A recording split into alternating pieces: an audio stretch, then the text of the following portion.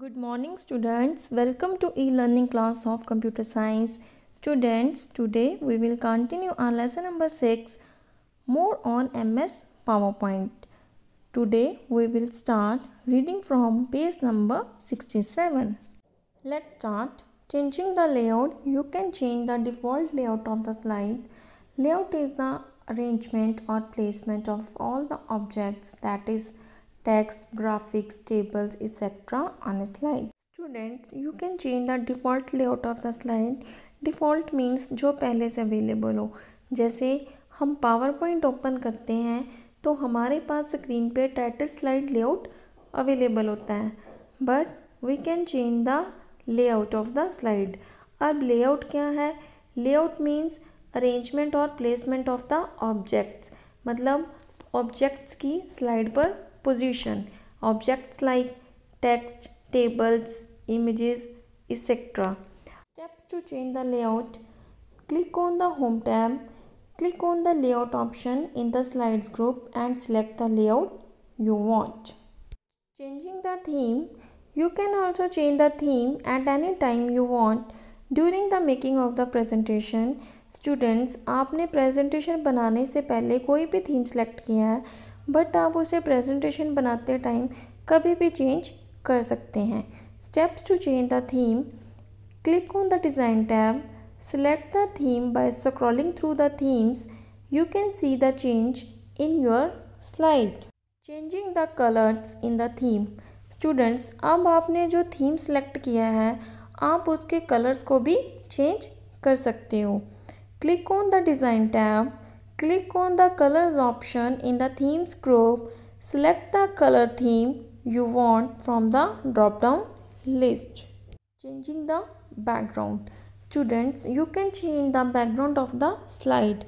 अब आपने जो प्रेजेंटेशन बनाई है उसमें आप स्लाइड्स का बैकग्राउंड चेंज कर सकते हैं आप एक ही बैकग्राउंड को सभी स्लाइड्स पे अप्लाई कर सकते हो या आप सभी स्लाइड्स को डिफरेंट बैकग्राउंड पे अप्लाई कर सकते हो step two change the slide background click on the design tab click on the background styles in the background group click on format background the format background dialog box appears select solid fill and choose a color from the drop down list you can select gradient fill and choose from the preset colors You can select picture or texture fill then select a picture from the clipboard, clip art or select a texture of your choice.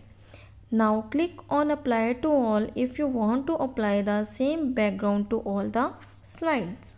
Viewing the presentation, once your presentation is ready, you can view it in four different ways such as normal, slide sorter, notes page and reading view.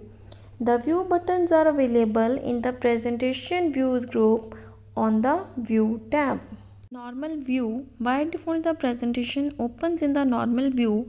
It is the main editing view which is used to write and design the presentation. In normal view you can add text, graphics, sounds, animations and other effects. Students अब जो normal view है इसमें हमारे पास two pens हैं मतलब two parts हैं left and right जो हमारा राइट पार्ट है वो किसी भी इंडिविजुअल स्लाइड का लार्ज व्यू शो करता है।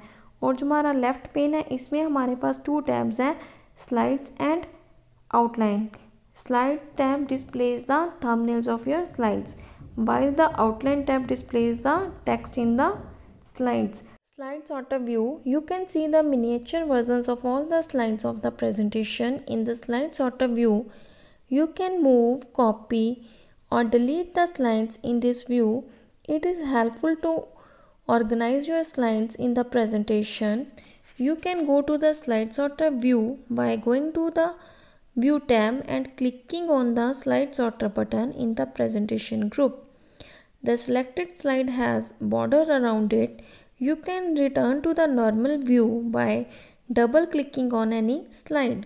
Student slide sorter view बहुत ही हेल्पफुल व्यू है अब आपने सभी स्लाइड्स को एक साथ देखना है तो आप उनको स्लाइड सॉर्टर व्यू की हेल्प से देख सकते हो। वहाँ पर आप उनको रीअरेंज कर सकते हो अननेसेसरी स्लाइड्स को डिलीट कर सकते हो, किसी भी स्लाइड को कॉपी कर सकते हो या मूव कर सकते हो।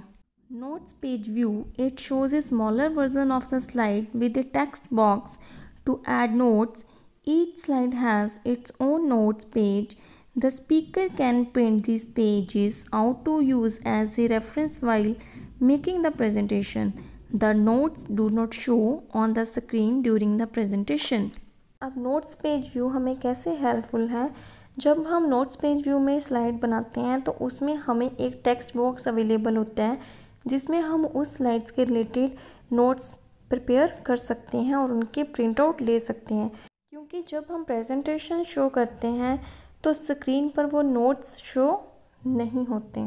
Reading view it is use to finally show your presentation to an audience the slides covers the whole screen but the task bar is still available and you have access to other window applications you can check all your animations and transitions in this view but you can not edit your presentation you can go the reading view by going to the view tab and clicking on reading view.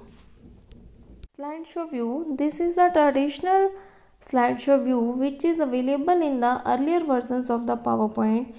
This view is used to run the slideshow during a presentation. To move to the next or previous slide, use the arrow keys.